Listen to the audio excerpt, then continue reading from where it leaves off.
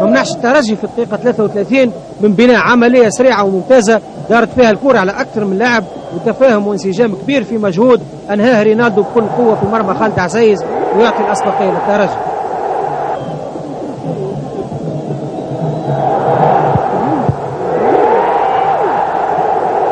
هدف وحيد لكنه كان عنده وزن كبير.